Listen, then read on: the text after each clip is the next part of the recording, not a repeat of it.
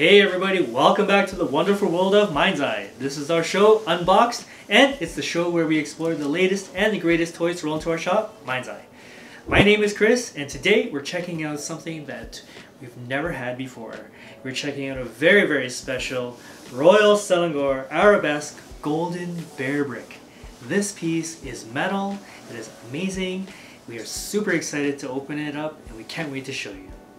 It's time to get unboxed!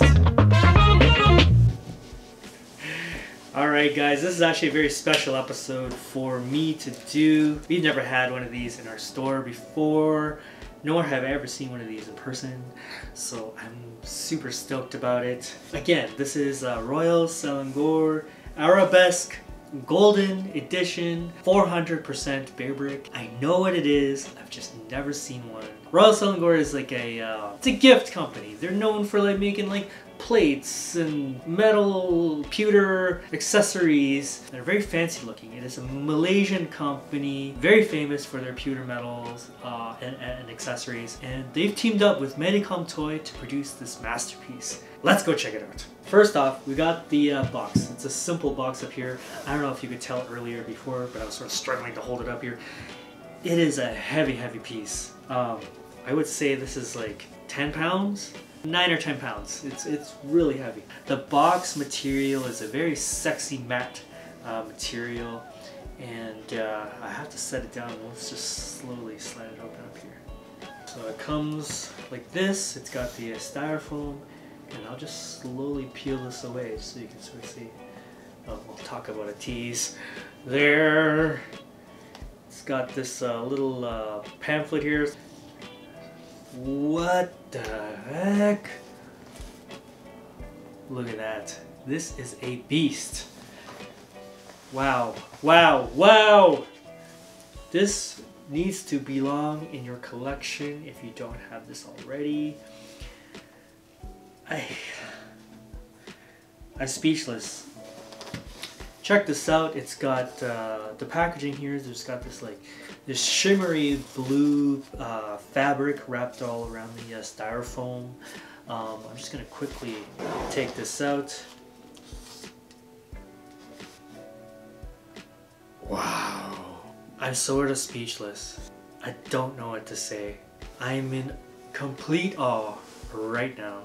This thing is handcrafted with like probably signature Royal Selangor patterns. The name of this was what? Golden Arabesque. Holy crap! That name does do it justice. Normally the Bearbrick 400% they have that clicking thing so I don't know if this actually does it or not but I'm gonna just move that there. No it doesn't do the click but holy it is a metal you actually have to use some force to sort of move this around because you can't tell in the video but this is super heavy. Like it is like I need to use some weight like strength to hold this up properly right now. Do the feet move up like this. It does! Oh my goodness. Uh, ever so slowly though. Beautiful. On the bottom of the feet it's got the uh, Medicom toy logo stamped right on the bottom. Did I say the word stamped? No. It's not stamped. It's more like crafted in there. And on the other side, normally they would put the word Bearbrick on here, but this time they put the uh, Royal Selangor logo on here and the word pewter uh, underneath it as well. Wow, what a beauty. Like later, does the head turn? The head also turns, oh my god.